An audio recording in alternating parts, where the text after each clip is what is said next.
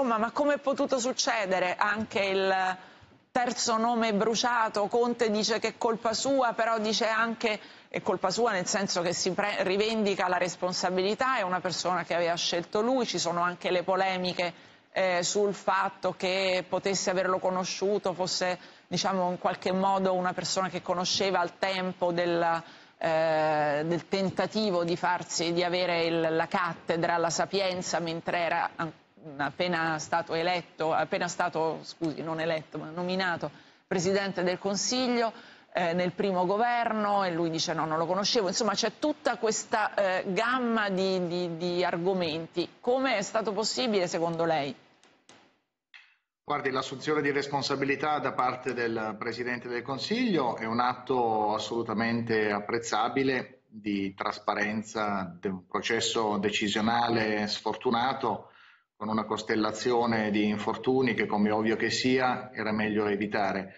Ciò detto, credo che il punto di fondo sia che in Calabria, come nel resto d'Italia, è in atto un'emergenza sanitaria. La Calabria ha un'esperienza di anni di gestione molto complessa della sanità che ha portato al commissariamento credo che il punto di fondo sia nominare rapidamente un nuovo commissario, una figura di eccellenza che sia in grado di aiutare la regione eh, e i calabresi ad affrontare un'emergenza sanitaria che sta colpendo duramente tutto il paese.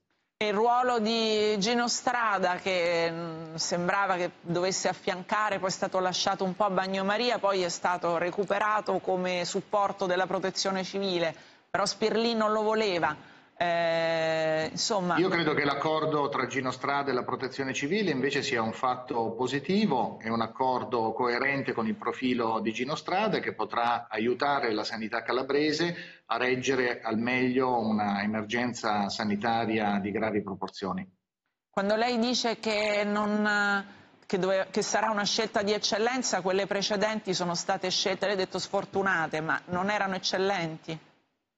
No, io ho semplicemente fatto un auspicio. Eh, I calabresi meritano una sanità all'altezza eh, dell'emergenza sanitaria in atto e la figura commissariale deve essere coerente con questo obiettivo.